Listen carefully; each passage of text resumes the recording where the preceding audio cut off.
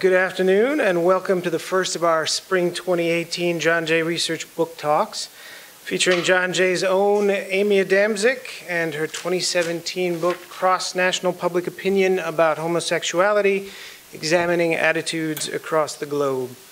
Uh, I'm Dan Stageman. I'm the Director of Research at the college, and uh, this is our 24th talk since we inaugurated our book talk series in the spring of 2013, so a venerable tradition. Thanks for being a part of it. Uh, Professor Adamczyk is going to be joined today by two guest discussants, Dr. Brian Powell and Dr. Ryan Thoreson. Pronounce that correctly, Ryan? Yep. Wonderful. Uh, just some quick biographical information on our presenters. Dr. Adamczyk is professor of sociology here at John Jay and at the CUNY Graduate Center.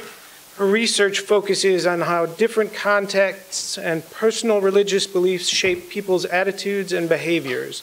Her work has been published in numerous outlets, including the American Sociological Review, and supported by foundations including the Robert Wood Johnson Foundation. Uh, Dr. Brian Powell is James H. Rudy Professor and co-director of the Preparing Future Faculty Program in the Department of Sociology at Indiana University. His award-winning book, Counted Out, Same-Sex Relations and Americans' Definition of the Family, documented the transformation in how Americans define family and in turn their views regarding same-sex families. And Dr. Ryan Thoreson is an adjunct professor here at John Jay College and a researcher in the LGBT rights program at Human Rights Watch. His book, Transnational LGBT Activism Working for Sexual Rights Worldwide, argues that LGBT human rights are defined by international activists who establish what and who qualifies for protection. His latest report for Human Rights Watch is All We Want is Equality Religious Exemptions and the Discrimination Against LGBT People in the United States. So, if you'll welcome our guests and presenters, and thank you for joining us for this important topic today.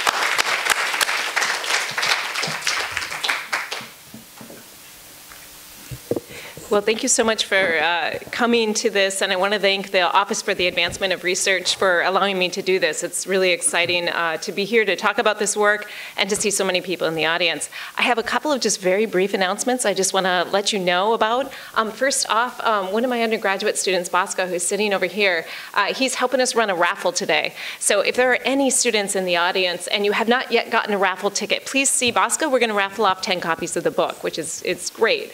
Uh, secondly, um, if, are there any students here from Michelle Holder's class? Yeah, before you guys go, make sure you see uh, Bosco again. He's going to take your name and he'll be sure to let your instructor know that you've attended and uh, that you've asked lots of questions. So, yeah. And then um, finally, uh, we're going to raffle off 10 copies of the book, but I do have some copies here for you to purchase, uh, $25 a piece. That's with my author's discount. And again, Bosco's going to be in charge of that, so feel free to do so. You can also probably get them on Amazon or Barnes & Noble a little bit cheaper, so that's okay too. Um, so, can you, I'm to check in.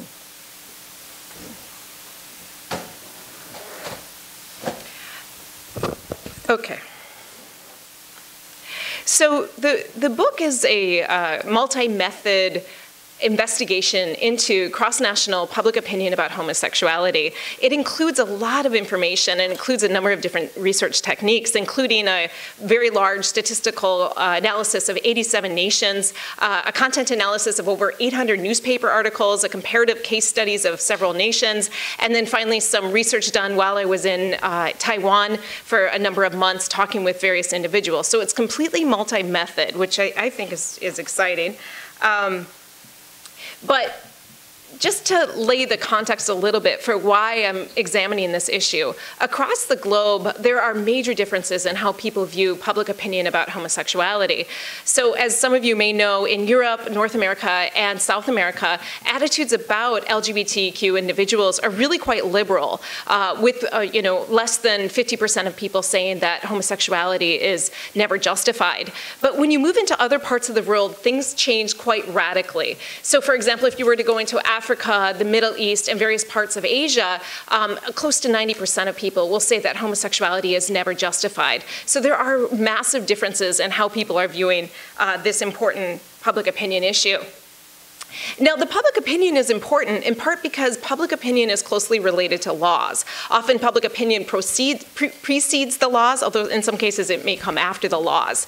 And if you were to look at the relationship between uh, public opinion and the laws, you'll see a really quite high correlation between the two of them. So I'm presenting to you here a map of the world, and as you can see, in North America, South America, and parts of Europe, um, many of these places, many of these countries allow for same-sex uh, relationships um, marriage laws have been put in effect, uh, or laws very close to that. If you were to go into the Middle East or into Africa, things change drastically. And it's here where you'll start to see that not only may homosexuality be illegal, uh, but uh, th there can be death, actually, for homosexual acts. And so this, this is really interesting, and I think it hopefully illustrates just how big the divide is across the world on this important issue. Now, just as uh, the, uh, laws and public opinion across the globe have very, very substantially, within individual nations, things have changed a lot. And uh, we're experiencing some of those changes in that in the United States, public opinion has become drastically more liberal in a relatively short period of time. So if you were, were to look back into the 1970s, you'll see about 10% of people say that homosexual relations are not wrong. But by the time you get into 2009, 2011, and certainly up to to today, you're pushing 40 to 50% of people will say that they are not wrong. And this is just a massive shift. And it's a massive shift that is largely occurring all within a similar time period. So it's not that older individuals are necessarily dying out, being replaced by younger individuals, um, although there is some of that, but everybody is changing. So you changed, grandma changed, mom and dad changed, the baby changed, everybody changed their attitudes in a relatively uh, short period. And relatedly, if you were to look at the media, and I know some of the um, uh, more mature individuals in the room may remember um, how different things used to be. Uh, in 1997, Ellen DeGeneres was uh, one of the celebrities that came out as gay, and it was a really big deal when she did it. She got this big time cover splash, and here she is, and um, unfortunately, her sitcom was canceled the very next year. So, um, you know, there was still a lot of um, debate and, and, a lot of um, uh, disapproval when she was coming out, and it was quite a big deal Um, the year after her sitcom ended, uh, Will and Grace came on there uh, onto television, and this became a very popular sitcom. It's so popular, it's actually back today. And then, of course, by the time we get to the uh, 2010s, um, this is a picture of Anderson Cooper, and he came out in 2012. And I think the mentality for a lot of people was simply, who cares? Why is this important anymore? And it certainly didn't garner the same amount of attention that Ellen DeGeneres did when she first came out in 1997. Now, while things in the United States have changed, you know, rapidly, um, it's not that way everywhere else, and I, I, think it's important that we never forget that. Um, it's a very different climate here in the United States than it, it is in other places. So in in uh, in Uganda, things are very different. Um, in 2010, uh, Rolling Stone uh, newspaper, which is one one of their local newspapers, um, published the names and addresses and pictures of 100 people that they said were um, homosexual, and uh, this is particularly a problem because in Uganda, um, uh, LGBTQ relationships, it's, it's illegal. Same-sex relationships are illegal, and you can be really quite harshly punished. So when this came out, um, it, it, was very difficult for the individuals who had been named. Um, and I'm, i have a picture here of David Kato, who was an activist, and he was killed shortly after this because somebody came to his home. And we don't know for sure, but a lot of people have suggested that it might have been because of um, this information being leaked about him. And so with things are just very different in uh, you know, other parts of the world. Now, my book is trying to unravel why things are so different. And I spend the first couple of chapters of the book going over this very large cross-national analysis of public opinion data. And the goal in me doing that is to try to understand why are things so different across these nations. Um, the, the, survey data includes, as I mentioned earlier, 87 nations um, with over 200,000 people, and it captures about 90% of the world's population. So it's, it's very highly representative, um, and I, I hope and I think provides a lot of insight into why things vary so substantially. So I'm going to tell you just a little bit about the statistical analysis, uh, but before going there, I want to clarify something, which is the part of the name of the book and what I'm, i refer to a lot is, is this term homosexuality. And homosexuality is very much, it's a term that has been changing. Uh, I, I, wonder if in a handful of years we may no longer use it. Uh, it's very historically and socially dependent, um, and new terms keep coming up. So why do I keep using it? If it, it sounds a little clinical and it is uh, getting a bit antiquated. Well, first off, um, I want to clarify there is very little data that actually gives us much insight into cross-national public opinion about homosexuality across many, many nations. And the data that I use asks specifically about homosexuality. There's some good reasons for that, um, and, and I can go into more of that uh, in the Q&A, but it is the term that they use in all of their surveys. In part, that's why I'm using it too. Um, but I do want to clarify, we don't actually know what respondents mean by this term. We don't know if they're referring to behavior, individuals, identity, uh, desire, so forth. It's a little bit unclear. All we know is they were asked about their feelings about homosexuality. Uh, secondly, um, when we go into other nations, this is a term that comes up repeatedly. It's the most popular term when we, when we did our newspaper analysis. And so it seems to be a term that people are very much using, and at least so far in the United States, we haven't found yet that when we switch out the term homosexuality with same-sex relationship, that people feel particularly more negative about homosexuality. So for a variety of reasons, I'm continuing to use the term, but like I say, I do understand the times are changing, and I'm not sure this is gonna um, be relevant relevant. Uh, if I ever do another edition of the book, we might be calling it something else. Okay, so one of the things that my book is able to unravel, and I'm not actually the first person to unravel this, but I think it is important, and that is to try to understand better what are the individual characteristics that are shaping attitudes about homosexuality. Now, I think many of you know what some of those characteristics might be. They include things like religion, gender, age, income, education, and marital status. And um, the interesting thing about these characteristics is that they're fairly constant across nations. So, for example, in the United States, on average, we're going to be talking a lot about averages, um, women tend to be more liberal than men on this issue.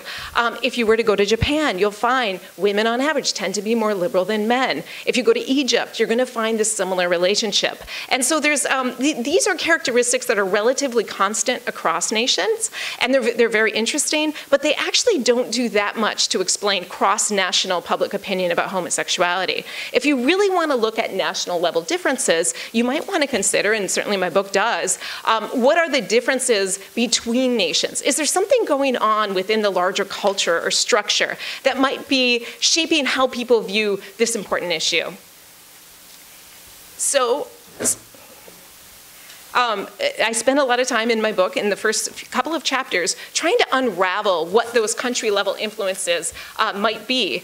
And I examine over 70 different characteristics, and I tried to go through and think through um, all of the uh, you know, potential empirical relationships, but also the theoretical relationships. Why would something like gender inequality matter for shaping people's views about LGBTQ individuals?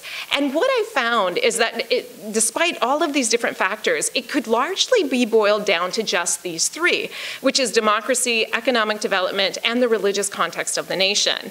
Um, it's not that these other factors are not important, and they're certainly important within individual nations, um, but if when you look across a whole broad range of countries, it's democracy, economic development, and the religious context of a nation that seem to matter more than these other things. And in the Q&A, I can certainly unpack that. In my book, spends a lot of time unpacking why, for example, something like gender inequality doesn't matter, um, whereas other things like democracy do.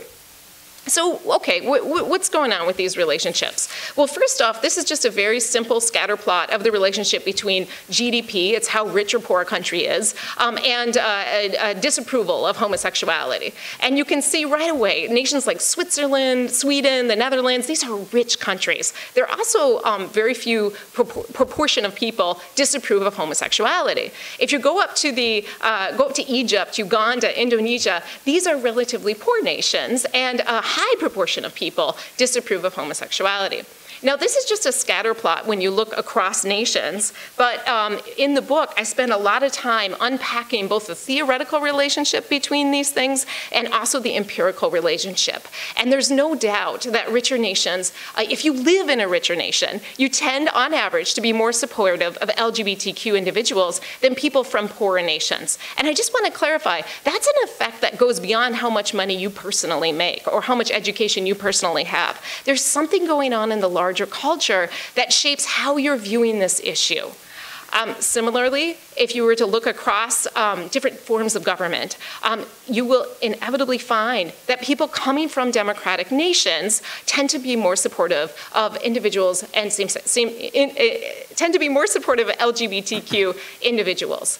Um, and again, in the book, I spent a lot of time unpacking the theoretical and the empirical linkages um, between those two things. But again, this doesn't matter. This is over and above how educated you are or how much money you make or whether or not you're a man or a woman or you're religious or not. This is over and above that. So there's very much something about living in a democracy that she seems to be shaping individuals' attitudes about homosexuality.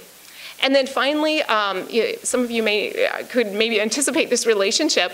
Um, regardless of your own personal religious beliefs, regardless of whether or not you're Catholic or you're Muslim, if you are living in a country that has a high proportion of Muslims, on average, individuals tend to be more opposed to homosexuality than individuals living, for example, in a Catholic country.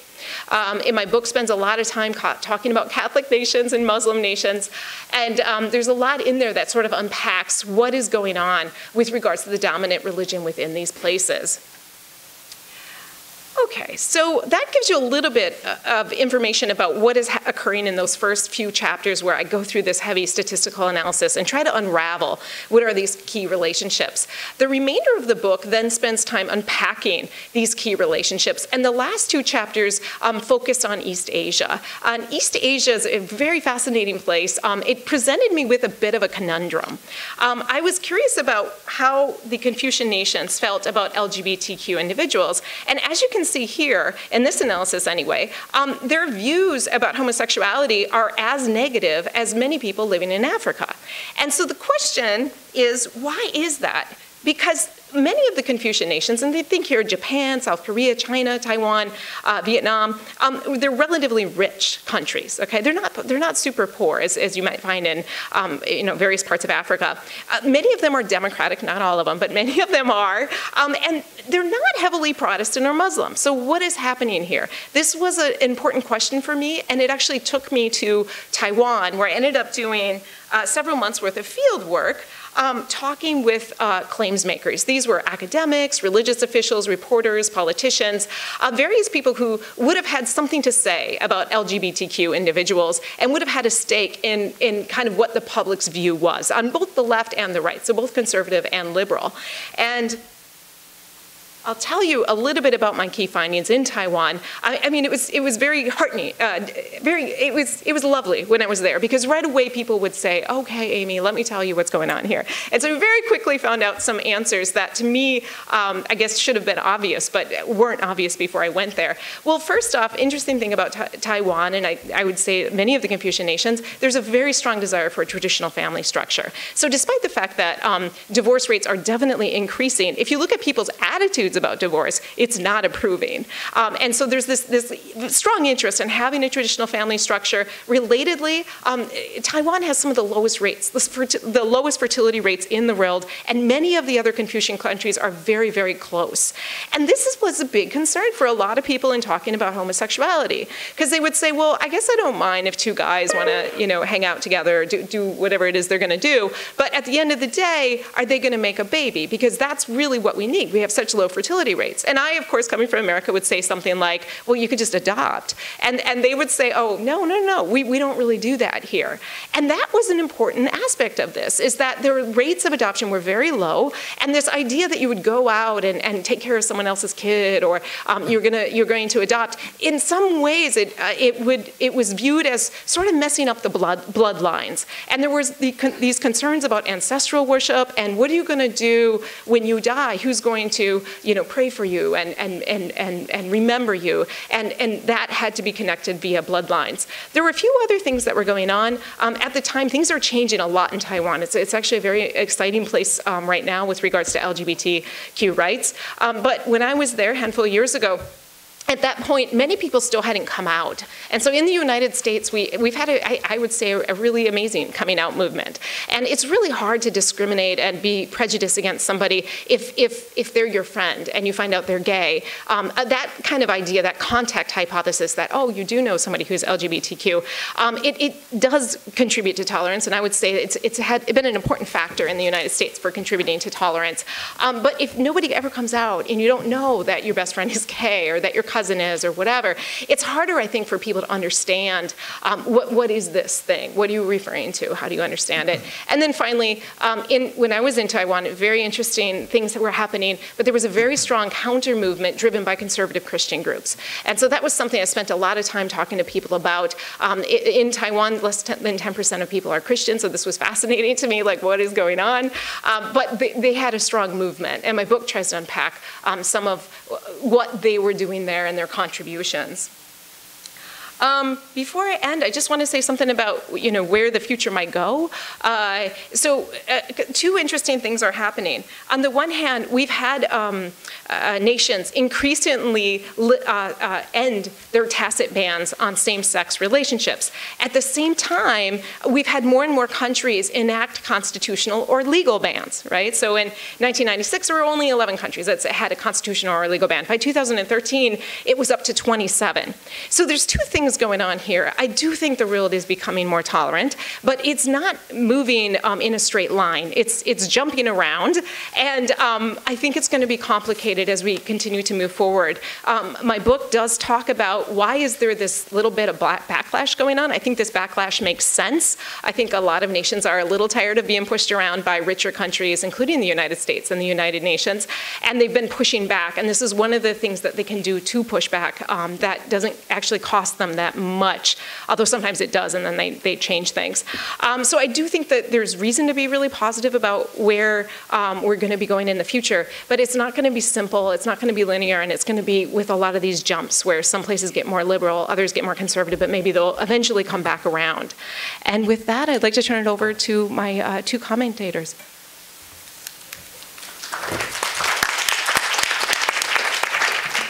These um, discussions about books usually fall into one of two categories um, a love fest or a really vicious attack on the book. Um, it's not going to be the latter, and it's going to be mostly a love fest because this is a really important and I, I you know, and I think a transformative book, and uh, a book that um, you should sign, buy for or sign up for the raffle as soon as you can on that. Um, the, the book um, is important. Wait, why is this not working here? Nope. There. Uh, the book is important for many reasons, but I want to focus on four issues that the book, I think, makes very important contributions and makes us think more about. Um, the first one is it may not be that surprising to people in this room, but the study of sexuality and the study of LGBT issues is a fairly recent phenomenon. Um, I can think back to graduate school days and let me just assure you, people did not talk about sexuality. That was not part of sociology. That was not part of social science research. There were a few professors who were, quote, doing what people refer to as the dirty work of studying of sexuality, but it really wasn't. The revolutionary thing was to study race and sex. And that's, it, you know, just tells you where we are in terms of today. Um, even though there's been a great deal of change in terms of the study of sexuality, there have been very few, there still have been, I, I, I, sexuality study still remains more marginalized than many other areas. And I think one of the important contributions of this book is really pushing the study of sexuality to a broader audience, and I'm going to use the term which sometimes people use pejoratively mainstream scholarship. And this, I think, is a really important contribution regarding this book. A second key contribution regarding the book is the focus on public opinion. And again, the question of public opinion, many people would think, if I talk to most people outside of academia, they say, yeah, public opinion, of course it's important. Of course it's important to understand what people think. And I know there's at least one professor in this audience who studies public opinion who absolutely would agree with that. But in the social sciences, there still remains this big debate out there. Why study public opinion? Public opinion may or may not be that important. I take the vantage point from of somebody who's been studying public opinion for a couple of decades and who believes that public opinion is important. At minimum, it is reflective of where we are. But as, as Professor Adamczyk points out, it also can be a precursor to social change that public opinion, it is very difficult, it's more difficult for change to occur if the public is not behind it. Or to put it in a different way, it is not coincidental that the legal changes regarding same sex marriage occur, were occurring precisely at the point that public opinion regarding same sex marriage was becoming much more liberal. It is not a coincidence that, that, that President Obama evolved precisely as American public opinion was evolving. Public opinion can shape legislation.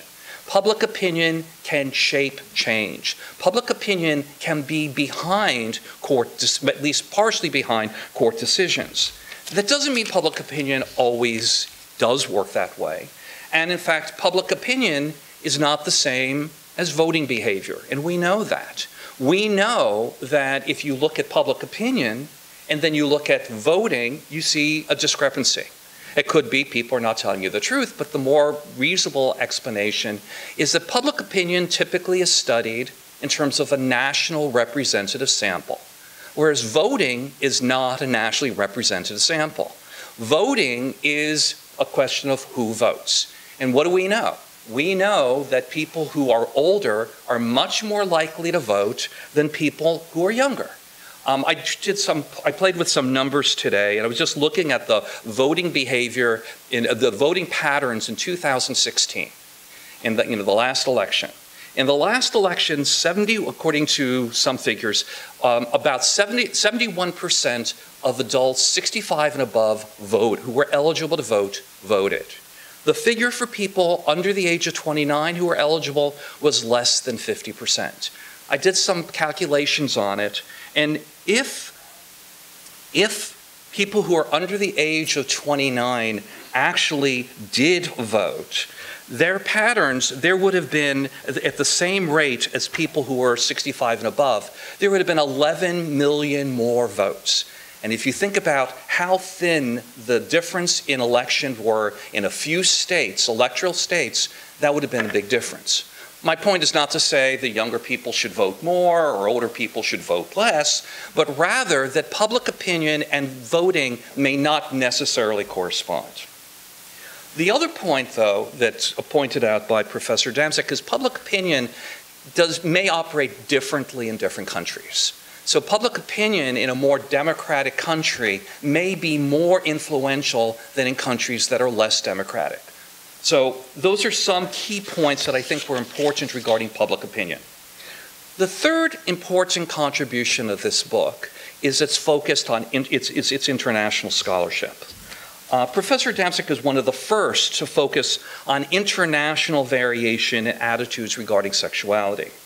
And all too often, we have a pretty cultural myopic, myopic view uh, regarding what's important. And I, I, will confess to being one of those people who most of my work is about the United States. Um, there's a book that just came out by uh, um, Mitchell Stevens, Cynthia Miller Idriss, uh, and Seteney Shami that basically called Seeing the World How U.S. Universities Make Knowledge in a Global Era. And they point out, in effect, that economics, sociology, and political science, in their words, have remained stubbornly parochial by focusing on the United States. Professor Adamczyk makes a very important contribution by forcing us, compelling us to go beyond the lens of the United States. And by looking at other countries, we can understand the patterns in the United States a great, a great more, a great, uh, much more. I was going to talk a little bit about some of the core patterns within, um, you know, within the book. I, I think Professor Adamczyk did a really nice job explaining all that. I do want to make one observation uh, regarding these patterns, though, um, and that is when we think about countries, we also have to recognize, and she notes, variations within countries. I'm just going to point out within the United States, within the United States, um, I, am from Indiana, and I will tell you, Indiana is a different country than New York. Absolutely a different country. And if you look at support regarding LGBT issues, for example, support for same-sex marriage, or, or the view about the justifiability or, you know, of, of, of, of, um, of being LGBT, you find great differences. And I did some analysis just to play around earlier today, and I was looking at the patterns in different states, and what we see is a core of states, in particular Mississippi, Alabama, Arkansas, South Carolina, and West Virginia, the patterns in those states are very similar in terms of support regarding LGBT issues to Eastern European countries, which have typically have not been particularly receptive to it. So although we can talk about the United States being a particularly liberal country, we're really talking, of, there is a great deal of geographical unevenness regarding, regarding it. That said, in terms of the inter, and so I would be really interested about a little bit more knowing about the variations in certain countries, and I suspect the variations are less great in other countries. You do point that out in terms of some of the issues about urban-rural differences. The next contribution, and I think this is, this is something that my views have shifted a great deal in the past decade, is the importance of what's known as mixed methods. Mo many people in graduate school are, were, were, basically trained to learn one method. You become a quantitative methodologist, or you become an ethnographer, or you do interviews. And there's this, this idea that's promoted by many people. You need to become an expert in one thing, and it's very, very difficult to become an expert in more than one. As, and that may or may not be true, but as a result of that type of philosophy, we typically see research that is informed by only one type of methodology. You know, so we see research that's mostly quantitative analysis of surveys, or we see some beautiful but still limited interviews of 20 people who live in a certain area, or people who spend a year, let's say, in Taiwan. What Professor Adamczyk does, though, is try to marry these all together so we see quantitative research. We see content analysis of text. We see interviews and ethnographic work all into one. And we see the importance of how those things, why, and we see how those things are merged together. Now, I think this is, from my own experience, I think this is really important because as someone who for many years relied solely on survey data that was collected, and I just type it in the computer and analyze data. It was a real surprise when I started doing research, uh, collecting my own data, survey data. Huh. I think that's sort of telling me I should finish up soon. Huh, okay. There. Um, I was really surprised when we started collecting our own survey data, and I was looking at the data before I just saw the numbers coming out. We found that even when we have, quote, simple questions, people often are going to give utterances, unsolicited utterances, telling you, giving you a great deal of information that you wouldn't have seen by just looking at the numbers.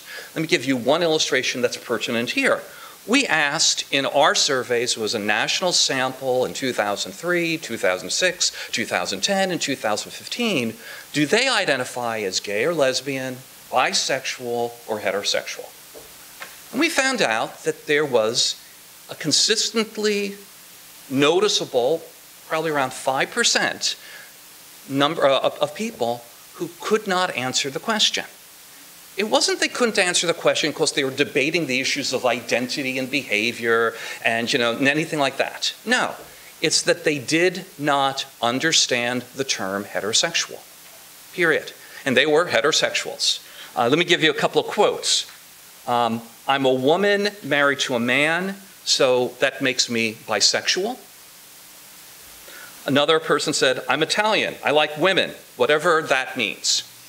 You know, one of the most common responses was the variation on uh, whichever one is, quote, normal. Now, the thing about that is, we would not have known that if we just saw the quantitative data.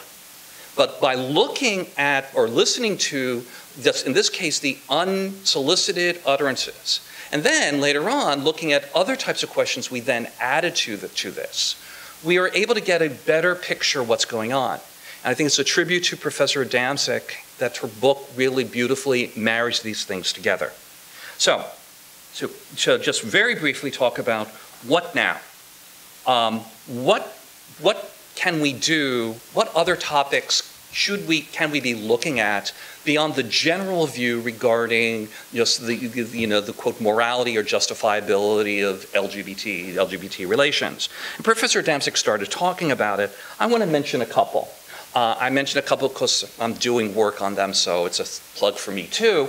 Uh, the first one is the question of same-sex parenting. Professor Adamczyk mentioned the issue in Taiwan the question how do you, you know, what about societies that are very children oriented that still have this notion of biological children in a father mother household? This is a really important question, and you know, I've been studying this question, collecting data on it, but there's also some international data on it. Um, where is this? So one thing uh, my, you know, two professors and I have been looking at has been looking at people's views regarding that issue. And we asked, this, the question that was asked, and this is a data set not unlike the World Value Survey. Um, this is done, uh, but this is the International Social Survey Program. And the question was, children grow up in different kinds of family. To what extent do you agree or disagree to the following statements? And the first one was a same sex female couple can bring up a child as well as a male female couple. And then they asked the same question about a same sex male couple. But they also asked the question about single parents. Because, and, and I think it's important to think about the comparison. And the reason the comparison I think is important is so much of the debate about same sex parenting's idea well, you don't have a father and a mother. Well, in a same-sex household, in a, in a single-parent household, you may have the same issues. So we wanted to know what were the views on it and how does it vary internationally. Um, I don't know how well you can see this, uh, and these are countries, it's 36 countries. It unfortunately underrepresents the, many of the countries that uh, Professor Adamczyk demonstrates very carefully, you know, very persuasively that we should be looking at. There's only one African country, for example, in this group. But just to put you in terms of the hierarchy, the United States is actually fairly liberal regarding same-sex mothers, and the pattern for same-sex fathers is about the same. People are a little less supportive of same-sex fathers and same-sex mothers, but it's not a huge difference. This is where the United States is. If you look at the red, this is where Scandinavian countries are, and you know, we're talking about wealthy countries, countries that have one particular religion, Protestant religion, so it's not the mixed Protestant religion, so it's going to be fairly liberal along the way. If you add other European wealthy countries, you see, again, in terms of same sex parents, it's pretty liberal. Regarding single parents, it's much more varied along the way. If you look at that's purple is not very good up there. Can you see it? So this, if you see the purples, and they're towards the bottom in general, these are, uh, these are Eastern European countries. And I do think this is one area that I, I, assume that Professor Adamczyk is going to be focusing even more on because this is one of the locations that has been one of the battles over same-sex relations. Uh, and it is one of the areas in which the United States, many lobbyists or advocacy groups from the Christian right have been really emphasizing their outreach to. Um, I just want to mention a couple of interesting patterns. It's like Philippines actually has a pretty liberal view regarding single parenthood, in Mexico as well. And I was trying to make some sense of it, and it absolutely makes sense if you think about the patterns in uh, the patterns of migration in which people, one member of the family moves to a country, sends funds back, gives remittances back to their family. Basically, it's sort of like this notion that single parent, at least single parent in terms of residential single parent, would work together. I, I just wanted to mention those patterns. Let's, let's skip that. Skip that. Um, but I wanted to mention those patterns because this is just one illustration of how you can take Professor Adamczyk's work and extend it to other areas. A few other ones I briefly want to mention. The debate about religious freedom is a big one, and I, don't, I wouldn't be surprised if Ryan mentions that uh, in, in his talk. But the claim of, quote, religious freedom as a counterpoint to LGBT rights is going to be an ongoing discussion both in the United States and worldwide.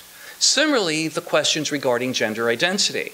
I think is going to continue to you know, be expanding. And in this case, the United States may be behind at least some countries in some ways regarding that. And finally, as plug for my own work, notions of what family is is another one that will vary, that will be very important to look across, across, uh, across countries. One thing, for example, we know that in the United States, people have this idea that if you are married or you have a child, you are a family. Turns out that in other countries, marriage is nothing. It is all about having children. So we collected data in Germany. If you are married and you don't have a child, you are not a family.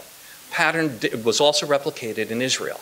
So the point is, these are all areas in which there can be some really important changes, uh, uh, uh, important to gender for future research internationally. I have a feeling I've gone past or through my 20 minutes. Yep, I'm done. So uh, thank you very much. Um, so I first wanted to say thanks to John Jay for organizing this event and giving me the chance to, to give some comments on the book. Um, and thanks to Professor Adamczyk for um, writing such a thoughtful analysis. Um, as someone who works on these issues both academically and in an activist uh, capacity, um, it was interesting to sort of read the book um, wearing those two hats and thinking about, um, you know, what does this mean as like a scholarly work, but also um, what does it mean for doing um, LGBT rights work internationally? Um, and I want to give some thoughts sort of wearing each of those two hats. So academically, so I have to admit that I am one of the researchers that Dr. Powell alluded to. Like I, I just do ethnography, I just do interviewing, I'm completely allergic to math, um, and, and, that's sort of my, my methodological approach. Um, so I'm always really nervous about commenting on books that have a lot of quantitative data because I, I'm scared that my reaction will be like, I wish you had done more interviews. Um, and one of the things that I really liked about this book is that um, I didn't have that reaction. Um, this is not damning with faint praise, but I think that this book is um, very mindful of the, the limitations of quantitative data um, and very thoughtful about the kind of um, other approaches that can be used to sort of flesh out some of the, the patterns that emerge internationally. Um, there's discussions of history, political economy, um, and, and moral and religious norms that really illuminate the particular ways that attitudes around sexuality unfold in practice. And I think that that's, that's a very helpful intervention. Um, one of the ways that I think that the book is attentive to this is thinking about, um, you know, what can be captured in the kind of questions that the World Values Survey asks, um, and what sort of exceeds the capacity of, of survey data. Um, so the data from the World Values Survey um, and the, the, questions that are um, in parts of this book are, um, you know, whether homosexuality is ever justified um, and whether respondents would object to having a homosexual neighbor. Um, and I think that, uh, you know, you can look at polling in different countries that, that really illustrates how questions about sex and sexuality are very, very slippery. If you look at the US, um, Gallup began polling around some of these questions in 1977, but in 1982, 59% um, of respondents said that homosexuals should have equal rights in terms of job opportunities. So that's like good. Um, but only 34% at the time said that homosexuality was an acceptable lifestyle. Um, so you have people drawing this distinction between the rights that people should receive and whether they're sort of can morally get behind the idea of, of being gay. Um, similarly, in 1992, um, Gallup found that 82% of respondents said that um, they're fine with gay people being hired as salespeople. Um, half that amount, 41%, said that they'd be okay with gay people being elementary school teachers. There's these kind of moral distinctions that get drawn around issues of sex and sexuality um, that may be difficult to kind of parse out in, in purely quantitative data. Um, you see this in France as well, where you know there's few qualms about like gay men shacking up together, but when you get to the questions of marriage and adoption, there was a surprisingly strong backlash um, in terms of like a, a, a, social movement around children having a mother and a father. Um, and I think particularly for data on trans issues, there's a real need for, for better quantitative instruments internationally, um, and even in the US, thinking about um, the availability of data on trans lives versus LGB lives. Um, second, I think that the book challenges us to question taken for granted assumptions about culture and homophobia in a way that I think even really good qualitative research often struggles to do. Um, and I think that the mixed methods that Professor Adamczyk uses really draws that out in a powerful way. Um, one example that really stood out to me was um, the discussion of how traits that are often associated with Confucian cultures in the popular imagination actually pull in practice. Um, you know, the book does a remarkable job of charting how people in Confucian nations um, actually don't differ that meaningfully from um, other residents of other countries in things like you know, whether you value behaving properly, conforming to gender roles, being obedient, uh, or making your parents proud, where things like uh, cultural attitudes around divorce do kind of have a, have a meaningful impact. I think that often going into qualitative research, you sort of enter with these cultural norms in mind, and the, the ability to sort of suss this out with quantitative data um, just makes for a much richer analysis. Um, another example that I think is very helpful is the polling data from Russia and other contexts that I would perceive as, as difficult contexts to do LGBT rights work. Um, where work on queer sex and sexuality is often seen as, as very difficult or impossible. Um, and here, you know, there, there are elements um, in uh, even somewhat hostile countries where, where people are somewhat receptive to, to LGBT rights arguments. Um, and I think if you look at some of the trend lines in the book, you know, it, it's notable that over the course of um, 10 years, um, in the World Value Survey data, um, the percentage of residents who say that homosexuality is never justified drops from like 93% to 63% in Algeria, um, 96% to 73% in Pakistan, um, and then also rises in some countries in ways that I think are, are kind of instructive. Um, third and relatedly, I think that the model that the book develops is a really flexible and dynamic model.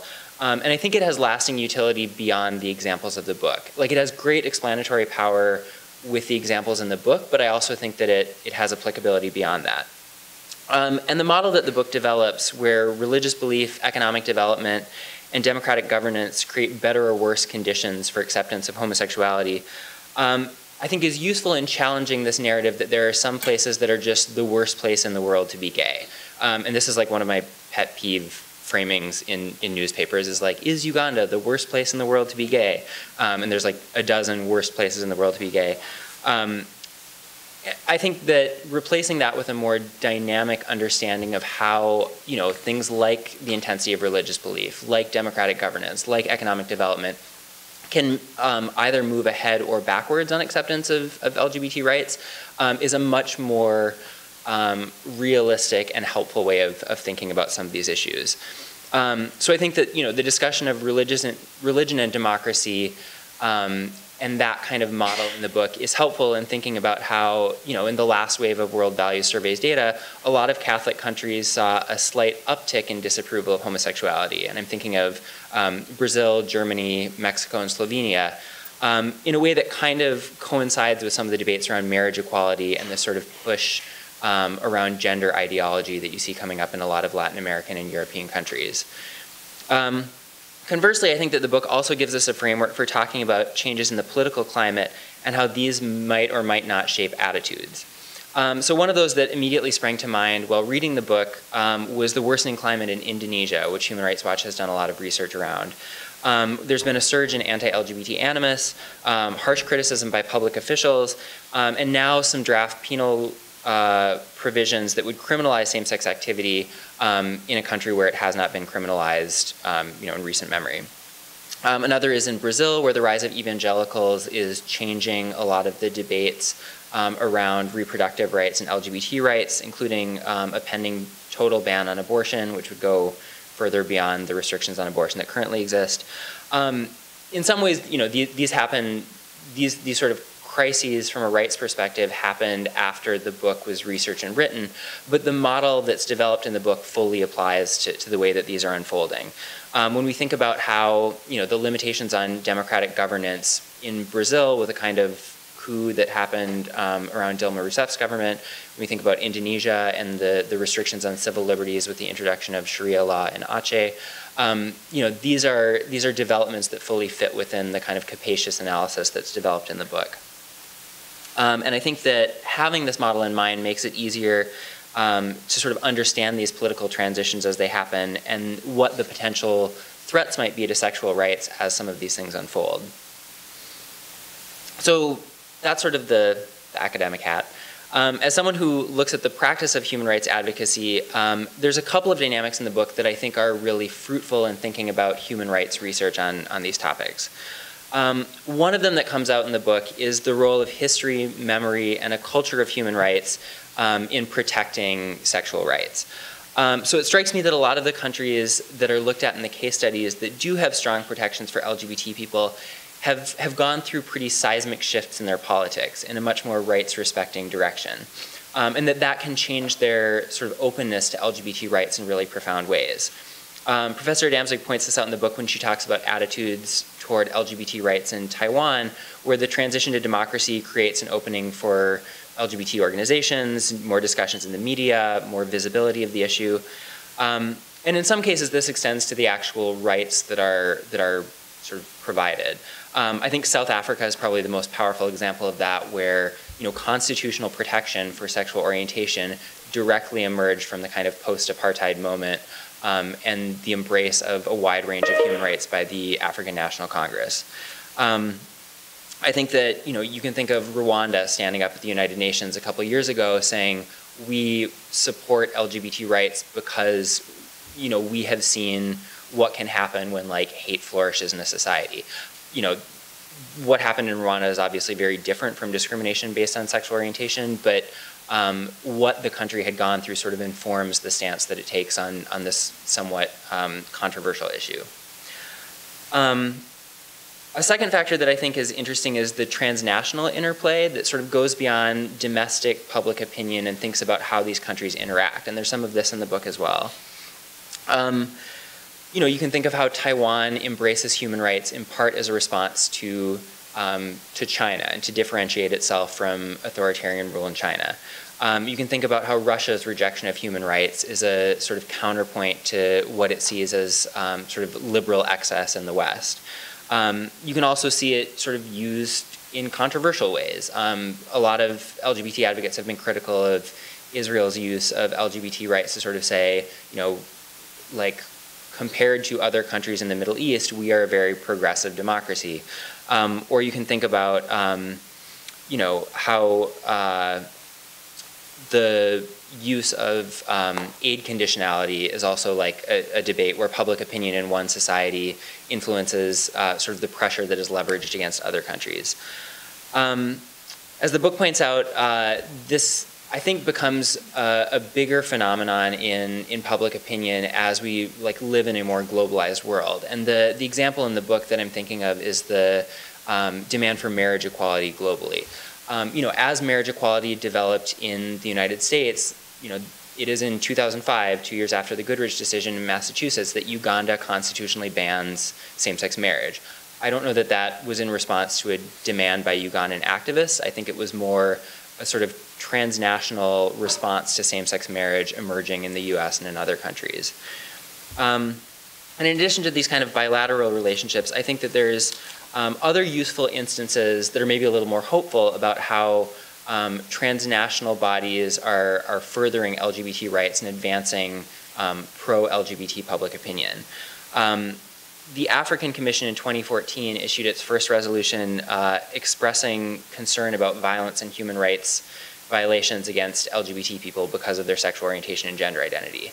Um, in December, the Inter-American Court of Human Rights issued an opinion saying that member states in the uh, American system um, should implement same-sex marriage and kind of have to implement same-sex marriage.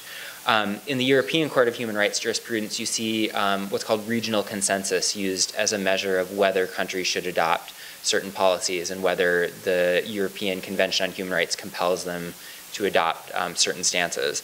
Um, and so, you know, I, I, think you can also look at the international level. Um, the World Health Organization in 1992 depathologized homosexuality as a mental illness. That gave cover to um, psychiatric bodies in places like Lebanon to adopt sort of pro-LGBT policies. Um, you can think of the words, work of UN AIDS and sort of combating criminalization of homosexuality and saying that that's important for an effective HIV response. Um, but whether through this bilateral engagement, regional mechanisms, international pressure, um, I think it's, it's also interesting how um, public opinion sort of spills over from these domestic contexts and, and influences opinion in other countries in interesting ways. And finally, I think that the book is really helpful in thinking about where there might be fertile ground for human rights interventions. Um, and the World Value Survey data is part of that. Um, it's helpful to know where public opinion is maybe out of sync with the laws that are in place um, and where there's fertile ground for activists to sort of demand um, LGBT rights. But I also think it's important to know where public opinion maybe isn't favorable and um, there are pro-LGBT laws that might be vulnerable to sort of popular backlash. Um, I think Indonesia is a very good example of that where um, you know, criminalization was not in place, but public opinion is very hostile to, to LGBT rights. Um, Romania is another example where you know Romania has some protections, but um, the like public opinion has not been especially favorable, and now there's a um, constitutional amendment that's been proposed to ban same-sex marriage. Um, Kim Davis like did a little tour of Romania to sort of um, pitched the idea that uh, same-sex marriage was a threat to religious freedom. Um, but I also think that it's helpful to, to conceptualize public opinion in thinking what um, effective interventions might look like. Um, and particularly like the model of the book in thinking about what um, an effective intervention might look like. Um, in some places, there might be utility in approaching restrictions on sexuality broadly. Um, so thinking not just about sexual orientation, but thinking about how that fits into a moral fabric around um, divorce, contraception, abortion, women's rights, things like that. Um, I think that that's played out in places like Malta or Ireland or the Philippines, where discussions about same-sex marriage and legal gender recognition have played out alongside national debates around abortion, divorce, and other kind of family law um, type issues. Um, and each of the three avenues that the book identifies as an engine of public opinion change, I think, is relevant in this regard. Um, if you consider religion, uh, when we think about religion having effects at a societal level and not just at the level of individual belief, um, it becomes relevant to engage religious leaders and to find common ground. Um, this is something that LGBT activists did um, privately with the Vatican years ago, encouraging the Vatican to speak out against um, violence against LGBT people, which it did at the United Nations. Um, you can think about economics and the way that uh, you know the, the book highlights how um, in many societies uh, where LGBT people are seen as sort of individual and separate from the family context, there's maybe more room for LGBT rights. Um, I think it's unlikely that LGBT advocates are going to change like the GDP of Mauritania, for instance. Um, but one way that that does provide sort of an inroads into um, advocacy is thinking about how do we sort of reclaim homosexuality and, and LGBT people as part of the communal fabric. Um, and in the Philippines, um, some of the past research and fieldwork I've done in the Philippines um, highlights how um, there is a different understanding of the LGBT individual's role in the family as the person who provides from the parents when their siblings get older or pay the school fees for their nieces and nephews. Um, that, that kind of um, rich understanding of what it means to be um, LGBTQ in a, in a society, I think can be helpful in sort of addressing some of the, the economic development type arguments um, that can have adverse effects on public opinion. Um, and then finally, to, to sort of conclude, I think that there's a really powerful argument um, that runs throughout the book about the importance of um, democracy and democratic institutions in advancing LGBT rights. And I think that this is something that, um, in my work in the United States, uh, has been much more apparent, I think, even at the, the level of individual states when, when doing LGBT advocacy. If you think about what effective responses were to the bathroom bill in North Carolina, um, a large part of it was the Moral Mondays movement, where um, progressive citizens in North Carolina banded together not only against the bathroom bill, but also against um, restrictions on voting rights, restrictions on access to abortion, um, you know, sort of socioeconomic policies that were advanced by the right and cut the, the um, social welfare net. Um, in Texas, One Texas Resistance adopted a similar strategy during the last um, summer special session of the legislature, where um, progressive groups across the spectrum sort of banded together and found common cause um, and made a point of not throwing each other under the bus to sort of stand up against um, an overwhelmingly conservative legislative agenda. Um, and I think internationally, um, at a time of increasing authoritarian populism, it becomes more and more important for LGBT advocates to say um, it is important for us to protect democratic institutions and the human rights of everyone more broadly. Um, and I think the book does a very good job of spelling out why that's the case and why um, LGBT rights are so inextricably tied to the rise and fall of democracy more generally. Um, and so with that, I think we're opening it up to, to questions. Um, but thank you.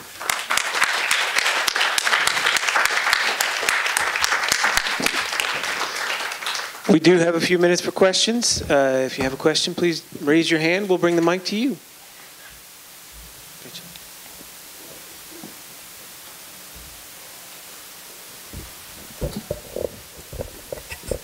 Good afternoon. Um, first of all, congratulations to my colleague.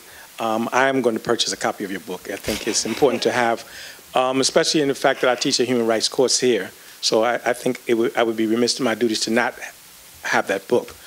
As an African American, I'm very interested in um, whether you've done some research in African American community uh, in terms of their attitudes about uh, being accepting of uh, homosexuality.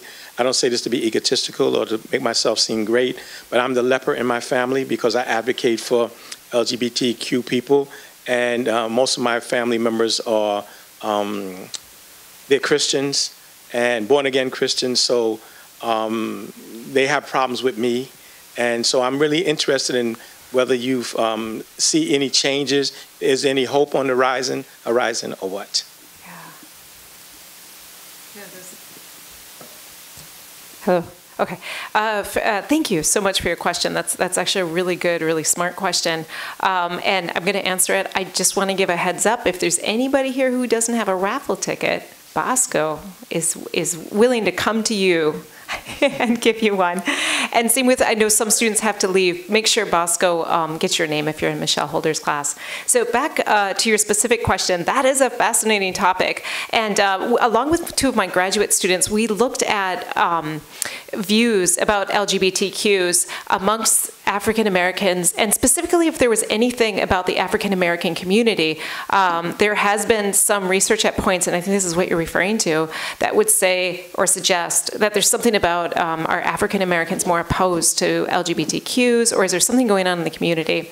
What we found is that if we account for religion, African Americans are actually much more liberal um, than other people. But there's something going on with religion. And as we know, in Americans, conservative Protestants tend to be particularly opposed to LGBTQs, and African Americans are disproportionately a part of those organizations and groups. Um, our research did not find anything unique about living in an African American community, a community with a high proportion of African Americans, nothing like that. There's not a culture like that. It is what you're probably thinking it is, which is it's the religion that is um, really affecting people. At the same time, I think there's hope within these groups. I think we need to think about how to frame those messages. Um, and uh, I would be happy to share with you um, the research that we, we were able to do. We published it last year uh, that I, I hope can try to unravel some of these questions because that is a burning question for so many Americans who do this research and um, just for individuals who are living in America who are curious about these questions. Thank you. Let me just add a little I, I want to just add a little thing to that. Um, first thing is there is actually reason for hope. Uh, the difference, the black-white difference in views regarding LGBT relations has been reducing over time. So there has been a change on that. The other th issue is there are different types of questions you can ask. So if you asked, for example, do you believe that people should deny service to a same-sex couple? For religious reasons? Or just do you think people should, businesses should be allowed to deny service? The African American community actually on average is much more opposed to that. So, you know, so in that case, there seems to be this conflict between their views regarding the morality of LGBT relations and their views about fairness and treatment of people. So it's, it's so in certain areas, uh, the you know African Americans are more liberal regarding some issues regarding LGBT.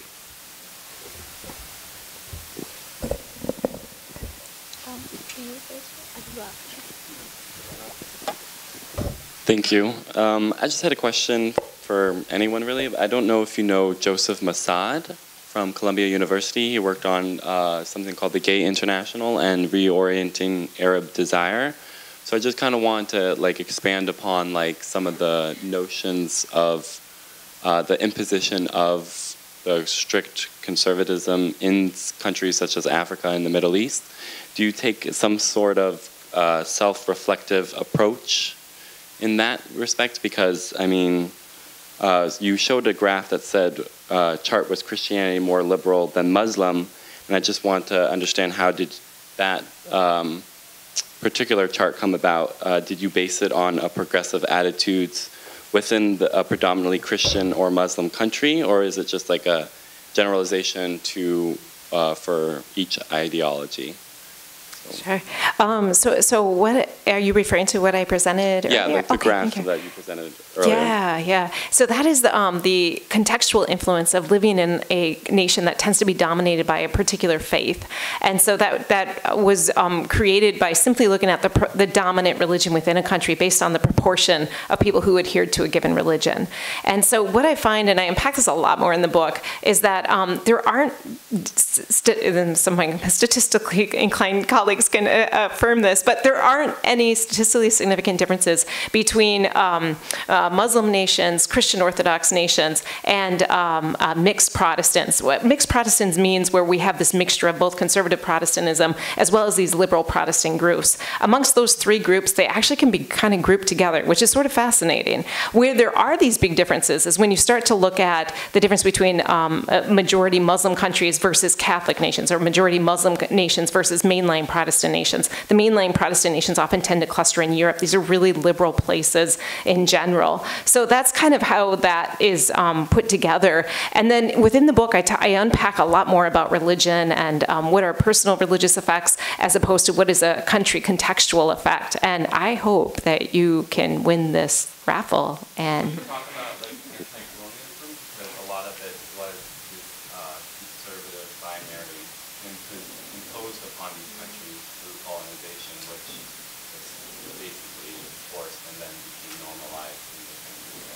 Yeah, I mean, one of the pieces that I think speaks to that is if people inherited the laws from um, British colonialism with regards to uh, sexual relationships. And if they did, there certainly seems to be some influence that has remained there when these nations got their freedom. They often took the laws that they already had um, that they didn't mind not changing, and then that just went on. So I think that's one representation of where uh, that can come in. Uh, it's a complicated um, question uh, related to this because some people will say, um, you know, same-sex relations is coming from the outside, and others will say, no, this was always a part of us. And there's a lot of debate amongst politicians and scholars and so forth. Um, I, I, don't know if I answered your question, but I'm, I'm wondering if I should uh, maybe speed things up. Hi. Um, so my question is, so as we know, in many countries, their opposition to homosexuality often, not always, have to do with religion, whichever religion they practice in their country. Um, we do see that uh, there are cases where it's not necessarily like that, such as in the East Asian countries, um, just from like a traditional Confucianism. I do wonder, have in any of your research, have you found any uh, other country or culture that also um, has traces to this anti-homosexuality stance that not necessarily have to do with religion, kind of um, connected to the question you brought with colonialism, because it is true that there are also countries where they were not necess- they were anti-gay or they were apathetic to it until you know, say Christianity was brought to or other religion. So I was wondering, um, and and I'm bringing it up because there have there is this notion, kind of like we said about the outsider bringing in the notion that being gay is a quote unquote Western thing, or uh, and which frustrates me every time because it's not just white people can be gay. Obviously, there are gay people can be found in Asia, Africa, other continents, all recorded in history, except they wasn't conceptualized as gay. That's more later on social identity. So um, I guess just want to see how much truth or lies there is in the idea that um, that there was anti-homosexuality prior to, I guess, European colonialism, or that wasn't really a thing until afterwards. You get yeah, saying? Yeah, no, absolutely. Yeah, these these are complicated uh, questions, and certainly my book is interested in kind of where does this these views come from. Um, I think uh, you know it's it's complicated, like how much of this stuff is being imported versus how much of it isn't being imported. And Uganda is an interesting case. I really looked to see how attitudes changed after Scott Lively went there. Scott Lively was an evangelical from the United States who went there and uh, talked with legislatures and tried to change things. And I have to say, they were already really opposed to LGBT LGBTQs a long time ago. But at the same time, I don't think we're asking the right questions. Um, I think, uh, um, it, you know, if you were to phrase it in a different way or you were to uh, talk about this from a different perspective, I think we would have a lot more information. But then we're constantly being constrained by that damn survey data, which is so incredibly frustrating. And we can't change those questions a lot of times once we've already started to ask them. So, um, I, yeah, it's, I, th I, think there's some good questions here about what, what exactly is going on and what, what can kind of be unpacked or not and so forth. So, thank you. So uh, I'm afraid we are out of time here. Uh, and I know some students probably have classes to get to. So um, if we can give our uh, presenters and discussants one more round of applause.